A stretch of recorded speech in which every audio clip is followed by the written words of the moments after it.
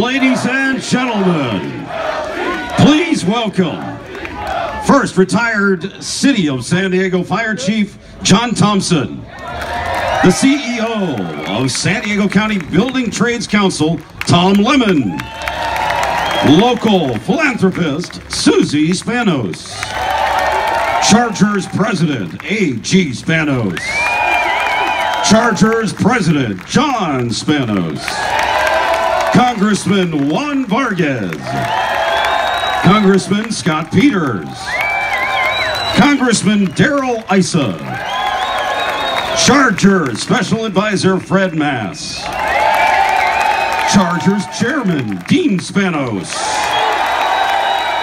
NFL Commissioner Roger Goodell, Chargers legend LaDainian Tomlinson, Chargers quarterback Philip Rivers. Chargers head coach Mike McCoy. Chargers Pro Bowl cornerback Jason Verrett. Chargers general manager Tom Telesco.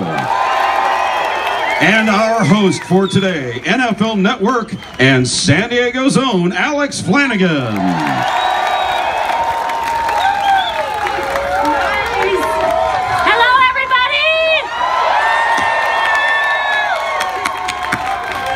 What a beautiful day for this event, and look at you all in your jerseys and San Diego gear.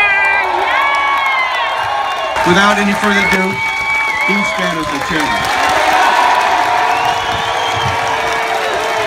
Thank you, thank you. Wow. It, this is absolutely overwhelming, uh, the support and the showing here today. I can't thank you enough. My family can't. The Chargers organization cannot thank you enough for being here today. I also want to thank all the congressmen for being here in support of this initiative. They are great, great, great individuals, Democrats and Republicans, and that's what it's going to take to get this done. And of course, I want to thank uh, Philip Rivers, who said he was going to be here all along to support us. Jason Verrett, great, great guy. And LT, who came all the way from Texas.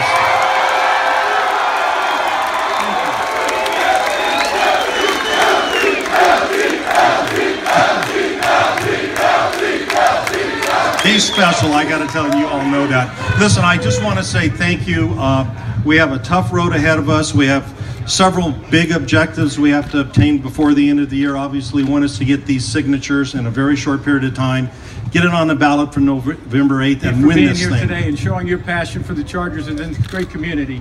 And we thank you very much for that support today. But as Dean says, we've got a lot of work to do. Uh, this is just the beginning. And we all salute Dean Spanos' decision, his family's decision to make it work here in San Diego.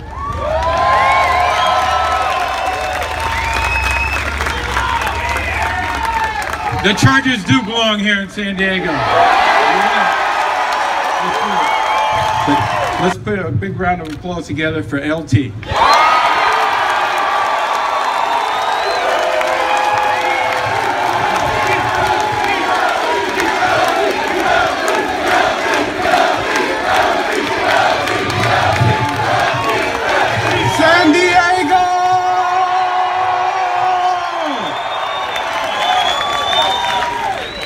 55 years since the Chargers have been in this community, which happens to be your favorite son, the late Junior Seau, number 55. And let me say this, if Junior was here, you know where he would be. He would be sitting right here. And in fact, he probably would go to each door in this community because this is where he's from to get those votes. That's how special he is.